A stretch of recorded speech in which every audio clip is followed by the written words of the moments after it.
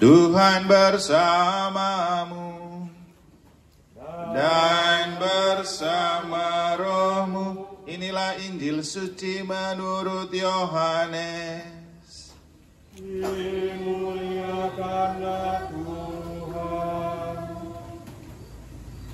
Sesudah bangkit dari antara orang mati, Yesus menampakkan diri kepada murid-muridnya di pantai Danau Tiberias. Ia menampakkan diri sebagai berikut.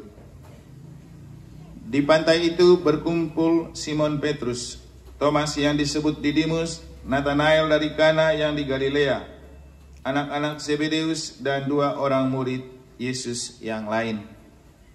Kata Simon Petrus kepada mereka, Aku pergi menangkap ikan.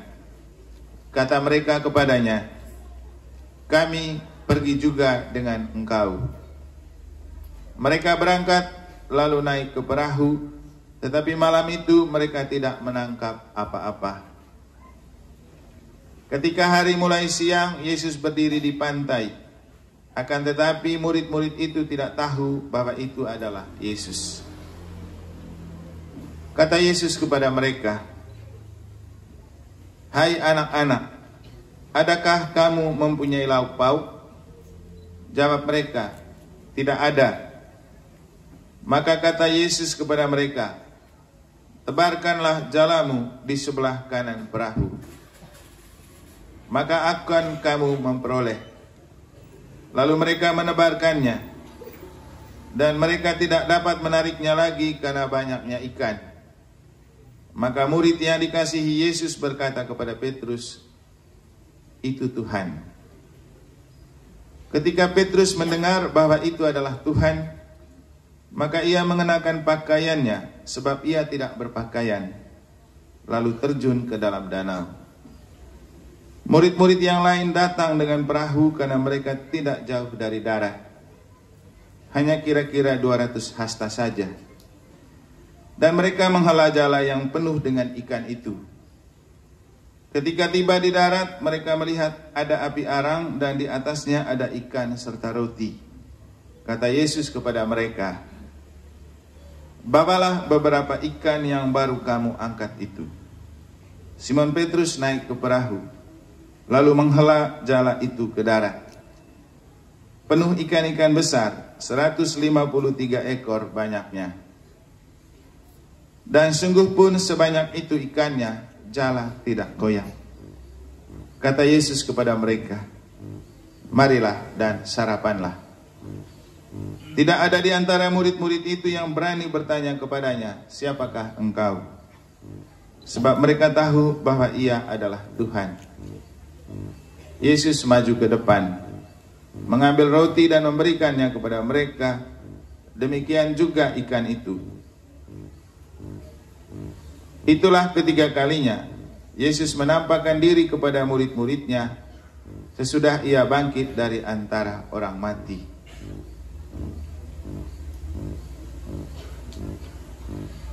Demikianlah sabda Tuhan.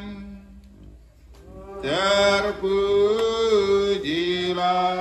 Kristus.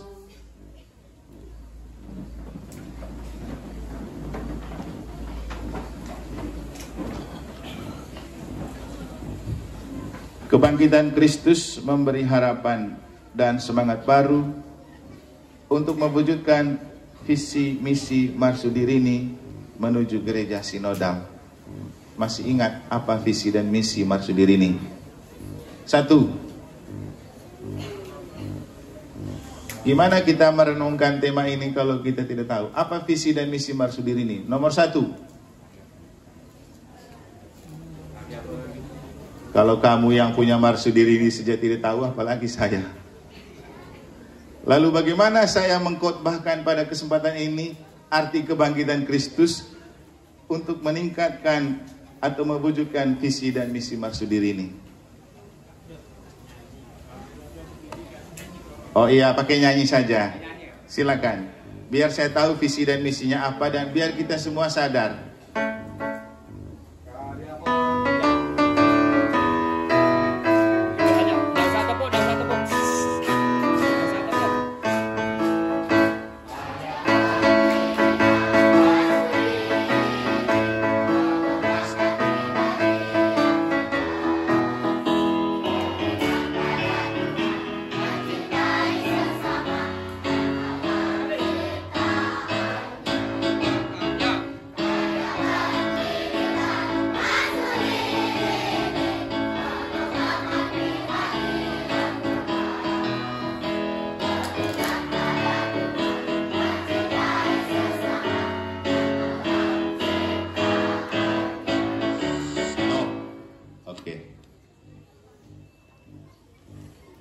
Yayasan Marsudiri ini berusaha mengembangkan pribadi yang cerdas ya. Dengan prinsip beriman kepada Tuhan, mencintai sesama, dan alam ciptaan. Ini apa namanya penjelmaan dari falsafah hidup Santo Fransiskus ya. Adik-adik, anak-anak, para suster, bapak ibu guru yang saya kasihi dalam Tuhan. Mengembangkan atau membentuk pribadi yang cerdas itu bukan perkara yang mudah. Kalau di SMK Marsudiri ini beberapa tahun lalu pernah saya memberikan sebuah birontal bimbingan rohani dan mental berjudul Aiki Eiki dan Eski tentang seorang pribadi yang cerdas dari segi intelektual coherence, emosional coherence, dan spiritual coherence. Dan kalau kita bicara tentang pribadi yang cerdas, maka kita jangan hanya berpikir tentang otak atau akal budi. Karena banyak orang yang dari segi akal budi cerdas, bahkan sampai kepalanya tampak pelontos, efek sangat cerdas dan pintar, belum tentu punya emosi yang cerdas. Apalagi belum tentu punya kerohanian yang cerdas. Maka kalau kita menemukan banyak orang pintar yang tidak bijak, itu karena memang dia tidak punya kecerdasan emosi dan kecerdasan spiritual. Maka kalau betul Yayasan Marsudiri ini ingin membangun manusia yang cerdas, maka bukan hanya kecerdasan otak yang diperlukan, tapi juga kecerdasan emosi dan kecerdasan spiritual. Untuk kecerdasan otak, kita sudah mengenyam pendidikan satu hari mulai jam 7 sampai jam jam berapa? Jam 12.20 dari hari Senin sampai hari Jumat. Hari Sabtu sampai jam 12. Katakanlah dalam satu minggu diri Anda dipakai untuk mempermak otak itu kira-kira berapa jam? Kalau lima kali enam jam katakanlah, berarti 30 jam satu minggu dipakai untuk permak otak. Nah, untuk permak emosi berapa jam? Ini yang sering dilupakan oleh dunia pendidikan. Mencerdaskan emosi. Apalagi Bapak Ibu kalau kita mau bicara jujur, jangan mengharapkan keluarga untuk mendidik emosi anak. Bahkan di keluarga itu anak dibiarkan emosi sembarang kan. Kalau bicara emosi jangan berpikir tentang kemarahan. Karena emosi itu tentang perasaan. Dan banyak anak-anak kita kalau mau jujur mati rasa. Di rumah pasti Anda bisa melihat ketika anak-anak dipanggil oleh orang tuanya. Gabriel. Lagi main HP kan? Diam. Panggil kedua. Gabriel. Ya. Sini makan. Ya. Tak begini. Kalau dijawab masih mending, kalau dicuekin tapi dia dengar itu yang jadi masalah. Ini yang disebut mati rasa. Belum lagi kalau bicara tentang anak-anak kita tidak tahu sopan santun kepada orang yang lebih tua. Dia tidak tahu ini orang lebih tua, ini orang tua. Sembarang saja dia bersikap. Waktu kita buat pertemuan resesnya Ibu Siskres yang dari PSI, dia pernah bercerita tentang mereka anggota dewan itu selalu dikasih jatah untuk masuk di sekolah unggul beberapa orang anak. Mereka dikasih jatah. Dia menolak. Dia bilang saya tidak mau dikasih seperti itu karena saya tidak mau pilih kasih dalam pendidikan anak. Biarkan anak-anak merasakan semua pendidikan yang sama. Terus dia bilang kalau saya boleh bicara tentang pendidikan, yang saya mau pendidikan itu adalah sekolah yang memperhatikan emosi anak. Bagaimana dia menghargai orang tua, bagaimana dia menghargai orang yang lebih tua. Dan inilah yang disebut karakter pendidikan. Ini baru bicara rohani. Nah sekarang untuk membina hidup rohani, spiritual coherence, kita punya waktu berapa jam? Coba.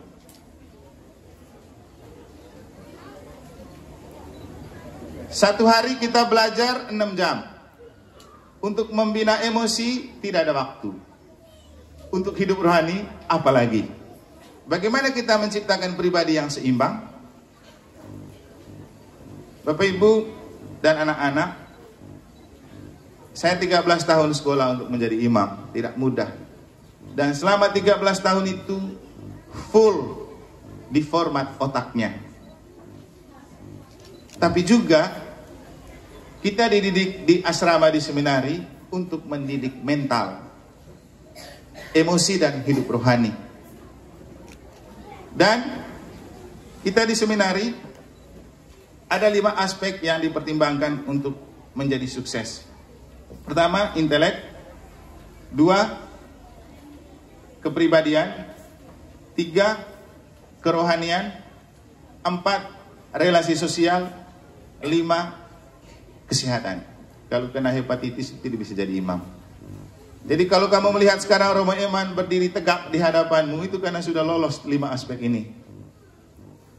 Walaupun kemudian nanti ada umat yang tidak mungkin tidak lolos satu aspek pun bisa menilai Romo Eman lebih kurang dari dia misalnya kan.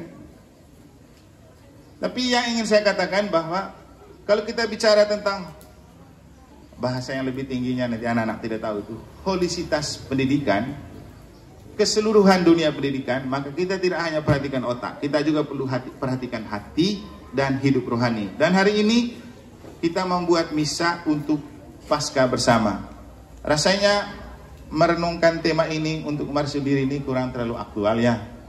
Karena tidak mungkin marsudiri ini yang terdiri dari banyak agama, kita bicara tentang gereja sinodal kan tidak mungkin. Tapi mungkin yang lebih mungkin adalah kita bicara tentang mari menjadi yayasan marsudiri ini yang berjalan bersama gereja. Artinya kita sudah menunjukkan identitas bahwa kita merayakan misa itu adalah bukti kita berjalan bersama gereja. Dan yang hadir adalah pejabat gereja. Dan inilah gereja sinodal. Hari ini saya coba memaknai pasca untuk Yayasan Marsudiri ini tidak dengan gaya gereja Katolik tapi saya memakai bacaan suci yang telah kita dengar untuk memahami siapa itu Yesus. Jangan berpikir Yesus itu orang agama Katolik, itu salah besar. Yesus tidak pernah mendirikan agama juga. Jadi kalau kita bicara tentang Yesus, jangan berpikir itu punya orang Katolik atau punya orang Kristen. Karena banyak orang Kristen dan orang Katolik yang hidupnya tidak lebih Yesus dari orang yang tidak percaya kepada Yesus. Benarnya Pak Wardia? Kenapa? Hanya mendengar kata Yesus tapi tidak paham Yesus itu apa. Sama juga dalam bacaan Injil. Petrus dan kawan-kawan itu rasul-rasul yang dipilih oleh Yesus, orang yang setiap hari berjalan bersama Yesus. Tapi begitu Yesus datang, mereka tidak tahu itu Yesus kan? Kenapa mereka tidak tahu Yesus yang sudah jalan bersama mereka, mereka tidak tahu.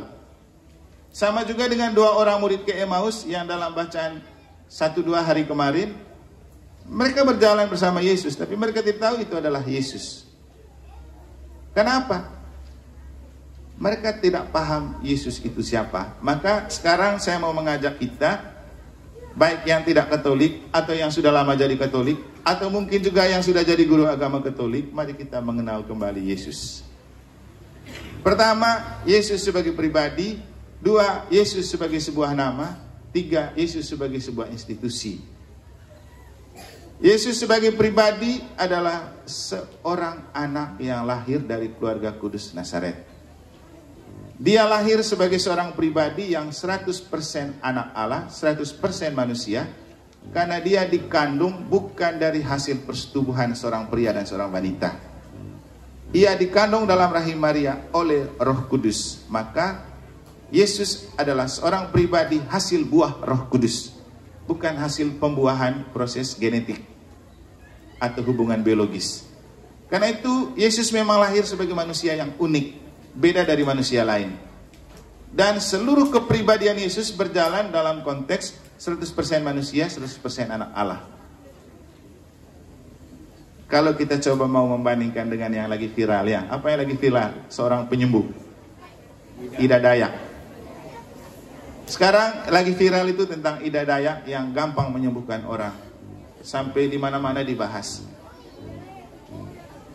Kita tentu mengakui itu sebagai sebuah ke kehebatan. Karena berbuat baik untuk kebaikan orang itu baik. Tidak perlu lihat apa agamanya. Karena kata Gus Dur, orang tidak akan bertanya apa agamamu ketika kamu berbuat baik. Yang penting lakukan kebaikan. Tapi seandainya kita coba telusuri lebih jauh seperti kita membandingkannya dengan Yesus. Yesus juga dulu hampir sama dengan Ida Dayak ini. Ke mana-mana pergi menyembuhkan orang dan banyak orang datang. Tapi kalau kita kembali ke latar belakang pasti berbeda. Ida Dayak lahir dari persetubuhan manusia, Yesus tidak.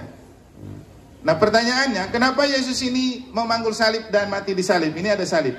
Banyak yang tidak mengenal Yesus, lalu mengatakan bahwa kenapa percaya kepada Tuhan yang mati di salib? Kemarin saya buat bahan untuk pembinaan keluarga di Buleleng, diminta oleh Kementerian Agama. Itu saya coba merenungkan lagi arti kebangkitan untuk keluarga. Yang juga nanti saya pakai untuk kita, bukan dalam konteks keluarga, tapi dalam konteks pendidikan. Ketika kita bicara tentang kebangkitan Yesus, maka yang kita bayangkan adalah bangkit dari, bangkit untuk, bangkit dengan cara apa?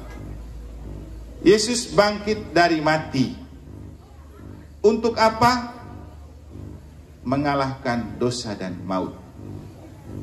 Dengan cara apa? Menderita dan wafat. Maka kalau Yesus mati di salib, bukan karena dia kalah dengan manusia. Bukan karena tidak punya aspek keilahian. Tapi dia merendahkan diri, menanggalkan aspek keilahian itu, mengambil rupa manusia, supaya dengan cara itu ia menjadi sama dengan manusia untuk menebus dosa dan kesalahan kita. Maka Yesus memanggul salib bukan karena dia tidak Allah. Dia bisa kok kalahkan semua orang yang menyalibkan dia. Tapi dia merendahkan diri untuk mengambil penderitaan-penderitaan manusia. Dan dia kuburkan semua penderitaan itu dalam kematiannya. Dan hari ketiga dia bangkit. Itulah keistimewaan Yesus. Manusia lain mati dan tidak bangkit lagi. Tapi Yesus mati hari ketiga dia bangkit. Sehingga kalau kita bicara tentang Yesus sebagai seorang pribadi, tidak bisa berakhir dengan Yesus yang menderita dan wafat atau yang tergantung di salib.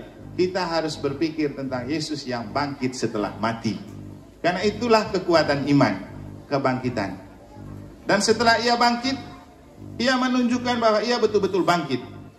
Ia menampakkan diri kepada Maria Magdalena ketika dikubur, kuburnya kosong, dia tidak ada, tapi dia datang mengatakan kepada Maria Magdalena, Maria, pergi kasih tahu murid-murid saya di Galilea. Saya ke sana, saya mau ketemu mereka di sana. Bukti bahwa Yesus bangkit. Ketika Yesus menampakkan diri kepada Maria Magdalena, itu artinya kebangkitan nomor satu itu soal personal, pribadi. Bangkit secara pribadi. Dan untuk kita, apa kebangkitan di dalam pribadi yang perlu kita maknai untuk kebangkitan Kristus kali ini? Makanya kalau tidak ada perubahan hidup dalam pribadi, kita rugi buat perayaan Paskah. Setelah Yesus menunjukkan diri kepada pribadi Maria Magdalena, ia menunjukkan diri kepada dua orang murid ke Emmaus. Artinya lebih meluas lagi. Dan dua orang murid ke Emmaus itu tidak paham itu Yesus. Tapi Yesus yang mengatakan kepada mereka, ini saya yang jalan sama kamu. Dan dalam sebuah perjamuan, Yesus menunjukkan dan membuka mata mereka bahwa itu adalah Tuhan. Makanya saya sering mengatakan kalau jadi orang Katolik dan tidak misa itu bohong Katoliknya. Bagaimana dia paham tentang Yesus? Seperti yang saya bilang, saya belajar 13 tahun khusus belajar Yesus, tapi saya belum paham-paham. Ketika rutin merayakan Ekaristi, baru saya paham apa artinya Yesus untuk saya. Karena ternyata misa itu memberikan banyak inspirasi. Bapak Ibu lihat kalau sekarang saya bisa berbicara dan berkhotbah di depan Bapak Ibu tanpa saya mempersiapkan diri. Kenapa? Misa itu memberikan banyak inspirasi. Saya percaya Roh Kudus bekerja pada saat ini. Sehingga tidak perlu saya mempersiapkan diri, nanti roh kudus yang berbicara melalui diri saya. Tadi kan waktu mau siap masuk, baru saya tanya ibu kepala sekolah SMK dan ibu Untin, apa sih temanya kamu punya ini? Lalu membiarkan diri dijiwai oleh roh, dan sekarang saya bisa berbicara di depan kamu tentang apa yang perlu. Karena misa itu sekali lagi, misa itu memberikan banyak inspirasi. Kalau kita mau menjadi seorang pribadi yang cerdas secara IQ, emosi dan spiritual harus mencintai misa. Itu kalau untuk orang Katolik. Nah, sekarang saya merasa bersyukur karena di Marsudiri ini orang Katoliknya sangat sedikit.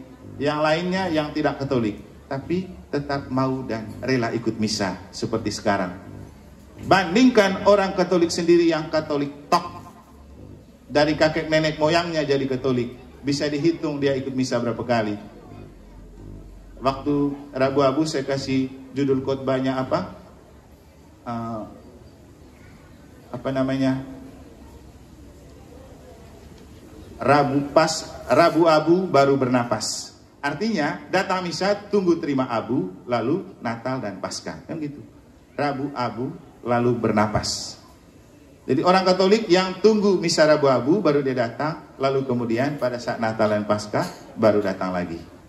Bagaimana kenal Tuhan kalau kayak gini?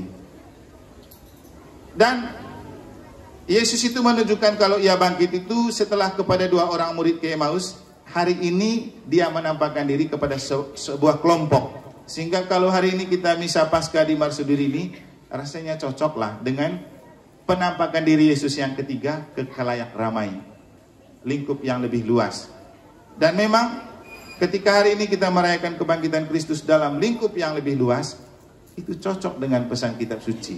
Tapi lagi-lagi di antara kita yang datang sama seperti Petrus, Yakobus dan rasul-rasul yang pergi ke laut.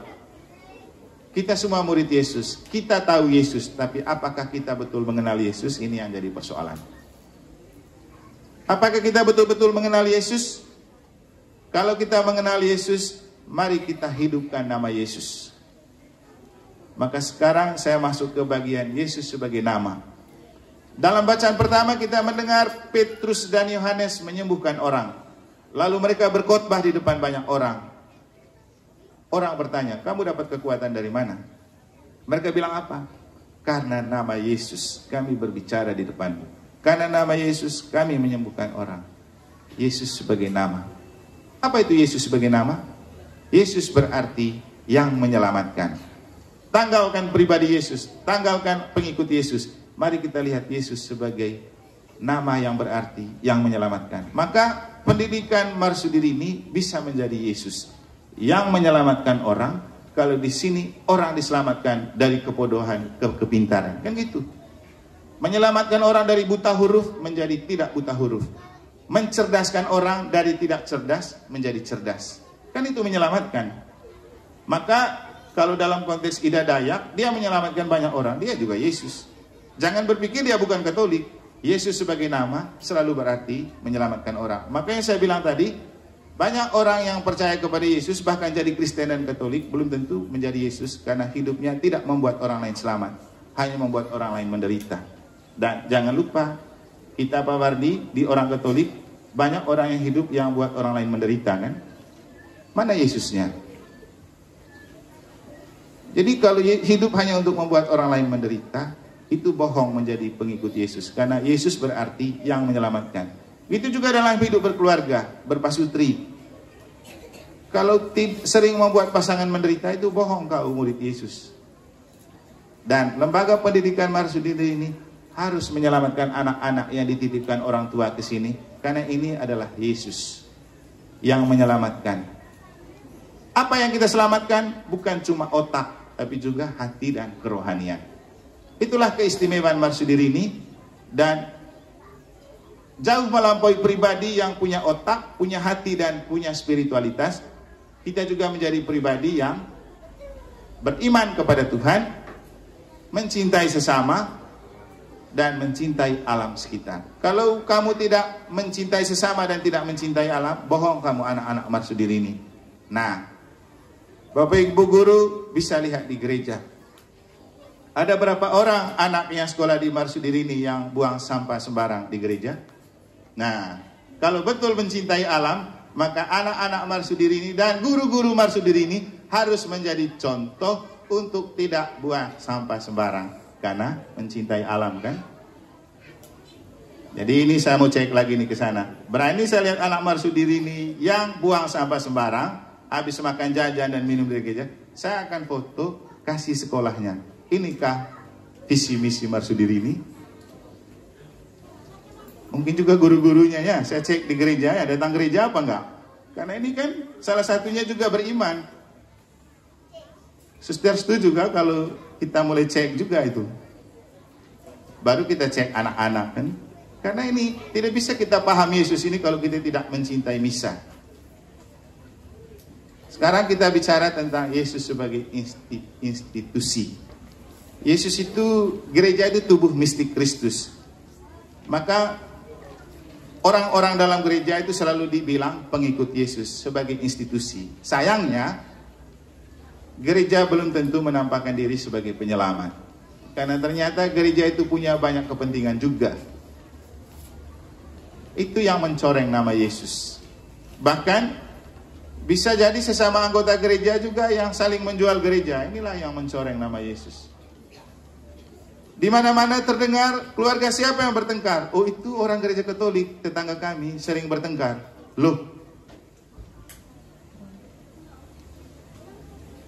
masa begitu jadi anggota gereja? Itu kan mencoreng nama Yesus. Orang tahu orang gereja itu orang pengikut Yesus. Maka pertama dan utama pekerjaan kita adalah menebarkan kasih. Yang oleh Marsudir ini diungkapkan dengan mencintai sesama dan alam. Kita itu menebarkan kasih di mana-mana. Waktu Paus Fransiskus datang ke Abu Dhabi, seluruh media di dunia bercerita tentang Bapak Ibu pemimpin gereja Katolik datang ke Abu Dhabi. Karena memang gereja Katolik adalah maskot penebar kasih di dunia ini. Bangga dong jadi orang Katolik kan? Tapi apakah kita masih bangga menjadi orang Katolik ketika kita lihat di paroki negara orang Katolik sendiri lagi saling mencibir, menghina, memfitnah dan juga tidak menebarkan kasih? Bangga. Kalau saya malu. Nah, ini sekolah Katolik. SMK, sekolah Katolik. Apakah ini menjadi sebuah lembaga yang menyelamatkan dan menebarkan kasih? Ini juga pertanyaan untuk kita semua. Jadi Bapak Ibu guru dan anak-anak terkasih, ketika kita bicara tentang kebangkitan dan semangat baru untuk mewujudkan visi dan misi Marsudiri ini menuju gereja sinodal, hal penting yang perlu kita lakukan sekarang adalah mari kita bangkit dari dalam lembaga pendidikan ini. Bangkit dari masa lalu, bangkit untuk makin mencerdaskan anak-anak secara intelek, emosi, dan spiritual. Ketika anak-anak kita bangkit secara intelek, emosi, dan spiritual, maka cahaya kebangkitan yang ada di dalam diri mereka otomatis akan membangkitkan Yayasan Marsudiri ini. Karena ketika ke mana-mana mereka tampil sebagai seorang anak yang sukses, orang akan bertanya, tamatan mana tamatan Marsudiri ini? Kalau tamatan Marsudiri ini selalu jempol. Kan gitu. Inilah kebangkitan yang perlu terus kita bangun. Lagi-lagi mari kita bangkit bersama Yesus. Yesus sebagai pribadi, Yesus sebagai sebuah nama. Nggak apa-apalah Yesus sebagai institusi itu urusan di paroki ya. Yang terpenting jadilah lembaga pendidikan yang menyelamatkan, Jadilah lembaga pendidikan yang menebarkan kasih, jadilah lembaga pendidikan yang memformat anak untuk menjadi pribadi yang utuh secara intelek, emosi, dan rohani. Selamat merayakan Paskah 2023. Semoga cahaya kebangkitan Kristus selalu menyinari hati, diri, proses pendidikan, dan lembaga pendidikan Marsudiri ini di saat-saat selanjutnya. Semoga Tuhan memberkati.